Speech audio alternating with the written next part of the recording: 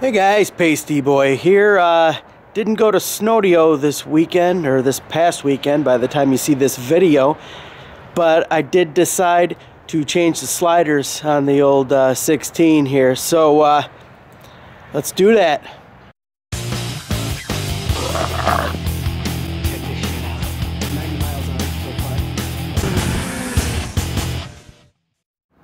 All right, uh, before we start loosening things up here to pull those old sliders out, I just wanted to show you the wear on, uh, on these ones here. So you can see it's pretty darn close to the wear line there. Um, you might be able to see it a little better on the inside. Um, and I'm not even sure if they wear unevenly inside to outside. It's a good chance they did because looking at the track sag, um, looks like my track's a bit loose. So it's probably a good thing here that I am uh, changing these out because now I can put the right tension on this track uh, once once I get the new sliders in. So before we get started, let's take a look at the tools we're going to need to get this job done. So these are the tools you're going to need to do the job here, and that I'm going to need to do the job here. If you do it my way, you'll need them too. Um, they are kind of in order here from what I anticipate needing to do. So we'll start with the uh, small flathead screwdriver. Those will be to pull the little caps off of the rear idler wheels then a uh, 3 8 ratchet. You could use whatever size ratchet you want with a 16 millimeter socket. Then you're also going to need a 10 millimeter socket. You're going to need a 16 millimeter open end wrench or box wrench um, a P3 Phillips head screwdriver uh, one or two pairs of vice grips depending on uh, which one works better might find that what I end up using work better. I'll try both. A uh, rubber mallet and some uh, type of lubricant. I'm using WD-40. Uh, and then we have this uh, little tack puller, which has like a little claw at the end. That might be good for uh, tapping the old slide off. All right, let's get to work.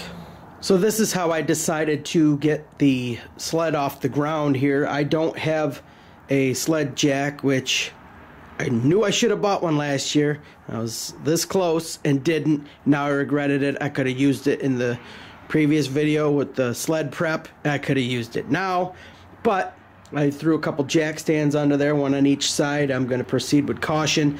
Whatever you do, proceed with extreme caution because you definitely don't want the sled falling off anything like that um, just saying. So before i take the caps off the idler wheels here i'm going to check the tension of this bolt here that um, adjusts the track tension on both sides with my digital caliper. I want to have a baseline if you have one of these, cool. If not, um, you could just use a tape measure or something if you find this step to be useful. Um, so we'll turn it on and zero it out and it is in standard American measurement. So the left side measured at 1.321. So uh, that's close to an inch and 5 sixteenths. Let's check this side on the right and I'll show you how I'm doing that. So I'm gonna slide this closed again. Clear it. Put the uh, caliper against the bolt slide it back until it touches there. And now we'll tighten this up so it doesn't move. So we're trying to take the reading and we've got 1.306 very close. And not that um, exact thread turns is the best way to do it anyway. You have to you know it doesn't have to be that precise anyway. So that was just our baseline to see where we're working with. That way if I have to readjust it I can kind of tell where I was if I need to get back there but it looks like I'm going to need to tighten this up a little bit more so that gap is going to get smaller.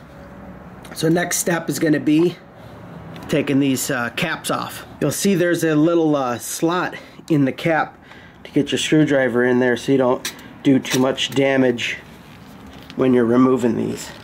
Just pry it off. I don't know if you can see that, but there is a little slot. So just look for that when you're popping these caps off. Let's go do the one on the other side. All right, this one happens to be over here. There we go. I'm just going to put those caps on the base of my stool here for safekeeping until we need to put them back on at the end of this job.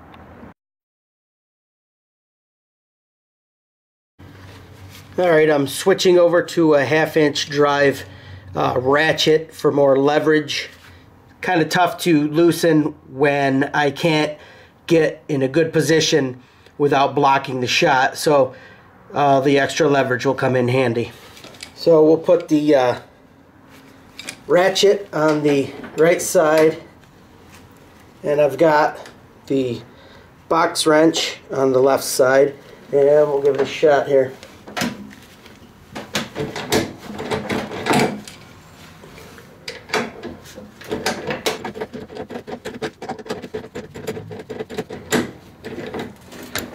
It doesn't have to be crazy loose, but loose enough that they will move. Now we're going to take our 10 mil deep well socket and we're going to loosen off this bolt on both sides about the same amount.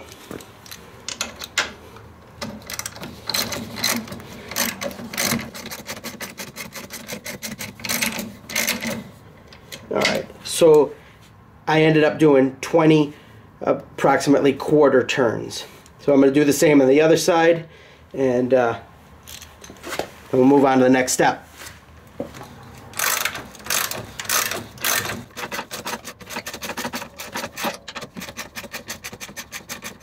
Kind of lost count on that side, might have been 2021, whatever, doesn't matter. They're loose. Let's move on to the next step. All right, now you can see that the track is uh, a lot looser and uh, that'll make getting those sliders off a lot easier. Uh, we're going to move to the front of the skid here. We have to take a couple screws out. Alright guys, so at the very front of the skid there's going to be a screw on each side of each rail and uh, that needs to be removed. There's a nut behind it you're going to have to keep. Um, it's going to be hard to get a, a, long screwdriver in there the way I've got it set up so we'll have to uh, take precaution here.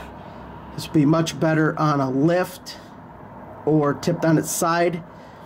But um, let's see what we can do here. Okay, so upon further review, I decided to tip the sled on its side. And uh, because I just didn't have enough clearance in the front end to get those screws out with the P3 screwdriver. And I'll show you. There's one there and there's one over there. And now I can totally get to them.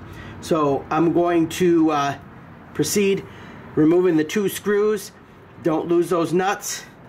And then we will begin removing the right side slider. Hopefully I don't block the whole shot, but uh, get your P3 Phillips head screwdriver and we'll loosen these off.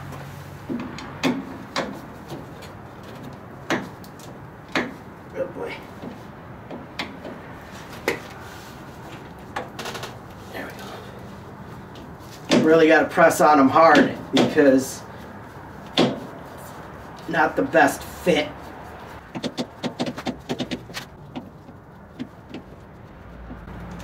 You'll kind of be able to tell when, uh, when the nylon nut is fully unscrewed. So we're going to set these aside and do the other one, same way. Alright, so I've got both screws out as you can see. And now it's time to remove the sliders. I'm going to start with this one here and uh, we got to bang that out through the back. And one thing we're going to do as it gets close to the end of the track here, we have to line it up with um, a window here. So hopefully this window is in a good position to remove that slider. All right, uh, hopefully this is where this little tack uh, puller and the rubber mallet will come in handy. So I'm just gonna kind of stab it in here and see if we can get a bite on that. A little tight. I'll give it a shot.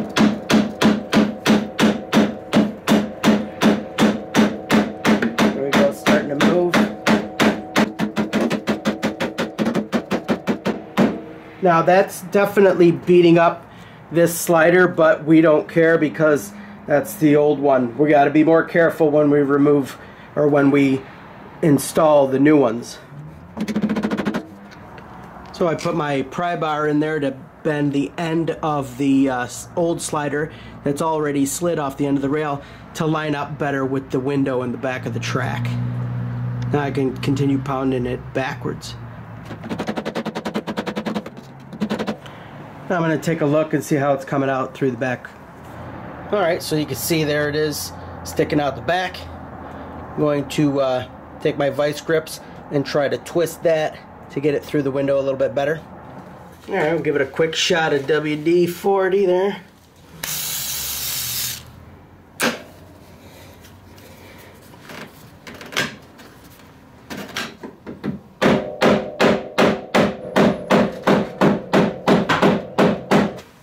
So as you can see, the slider has started coming out.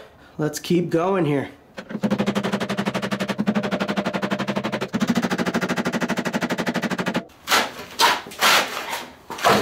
thing I'm noticing about using these flat ones, you might want not to use these, is that they taper as, uh, as you get a bite, so you're not really grabbing much. If they slip, um, like they just did on me, could be, let me try the other ones, could be bad.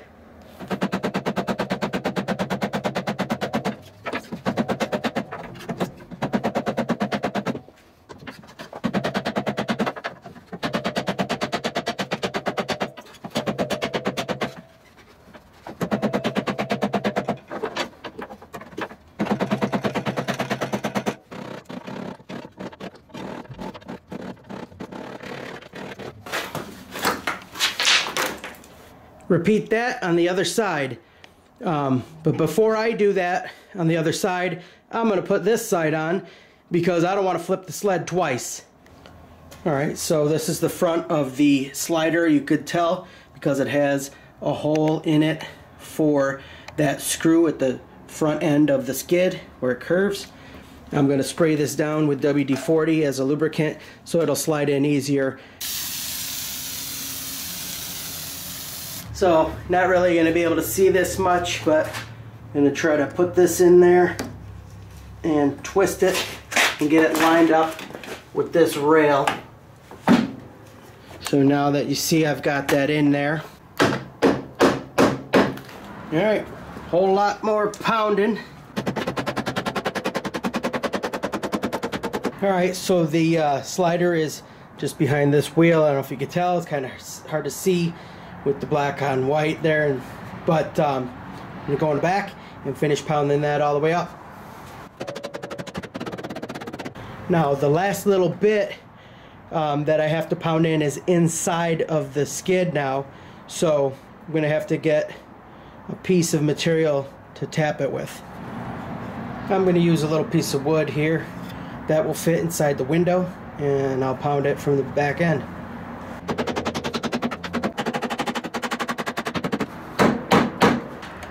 So you can clearly see, got that piece of wood wedged in there. And I'm to finish tapping that. Just got to make sure it's lined up and you're not smashing anything. It doesn't need to be smashed, especially the track. Um, and wood is pretty soft, so it's a safe tool to use. So let's put that screw back in with the nylon locking nut. So we'll put the nut in first. There we go.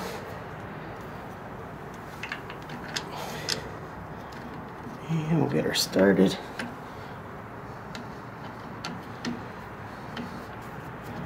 Once you get it started and you know it's not cross-threading, you don't have to hold it anymore to lock itself in place. And you don't have to crank this down super hard. You just have to make sure that the screw is beyond the bottom of the slider.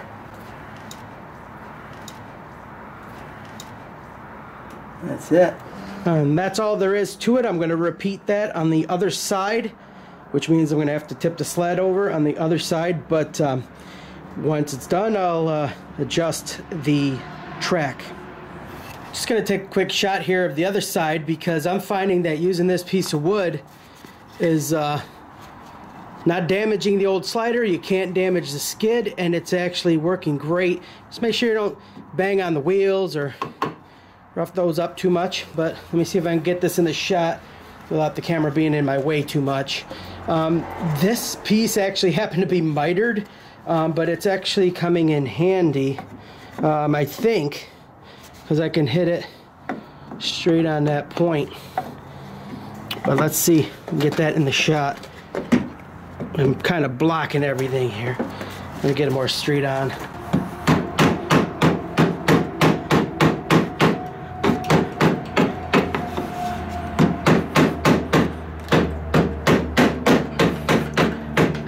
Go. I'm actually getting a little bit behind uh, the idler too. So might want to give that a try. And this appears to be maybe uh, three quarter by one inch uh, pine. All right, slider number two on the left hand side here, fully installed. Um, obviously the second one always goes in easier and I learned a couple tricks one was to use a piece of wood uh, to bang out the old slider and bang in the new slider. So, yeah, I didn't have the um, leverage because the sled was on the ground to actually pull it out like you would if you had it up on a lift. So if you're doing this on the ground, obviously be careful, but um, use a piece of wood to pound it out. You won't damage the skid, the old uh, slider or anything. So be careful around your idlers because you could bang on them if you don't have the piece of wood in the right position and you don't want to tweak those. You'll ruin the bearings. So with that being said, all that's left to do now is uh, put the sled back down. I'm going to jack up both sides like I had it uh, originally with a jack stand on each side and adjust the track.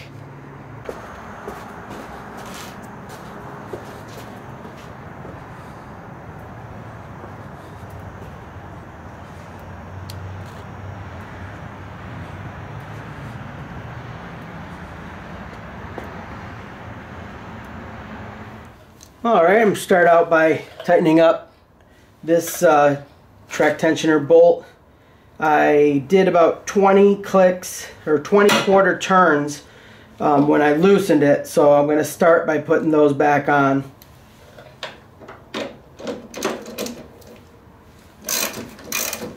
Four, five, six, seven, eight, nine, ten, eleven, twelve, thirteen, fourteen, fifteen, sixteen, seventeen, eighteen, nineteen, twenty. I'm going to go do the same on the other side. Alright, so we got 20 turns on each side. To me, it's still a little loose.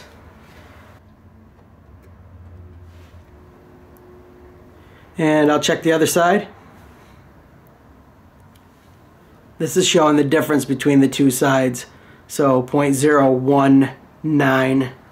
Close enough. Now we're going to tension this by uh, measurement at the slider, the midpoint of the track. Now they sell a special tool that's supposed to put the right amount of pressure on the track to gauge how much space you have between the slider and the track. I don't have one of those, so I'm just going to kind of go by feel. I know when you push on it, you should have about a half inch or so. So it looks a little saggy there. Uh,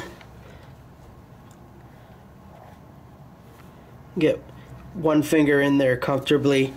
Um, it really isn't that bad, actually. Let me check the other side. All right, so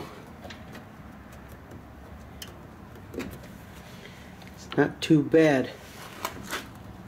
I'm going to give it a little bit more though. So I've got the track tension to where I like it on both sides. Not sure if uh, you can see that exactly, but uh, I'm content with that. Now I'm just to tighten up the axle here and uh, this job is done.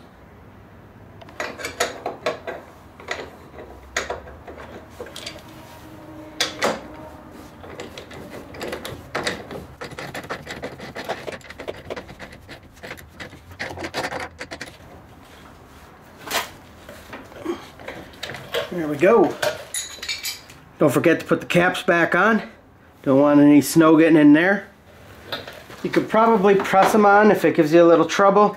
Just uh, encourage it a little bit with a hammer.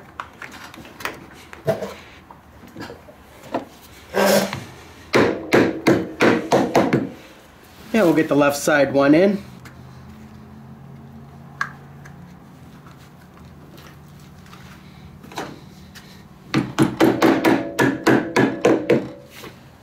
Alright guys, thanks for watching. If that helped you install your sliders or you found it entertaining, please give it a thumbs up. Um, share the video, that also helps. Check the links in the description. Um, I have an Amazon affiliate page that helps out a little bit if you check out some of the supplies that we have available down there. Um, you can check the link in the description as well to follow me, Paisteboy, on Facebook. Click the bell if you want notifications for future videos, and we'll see you on the trail. Take care.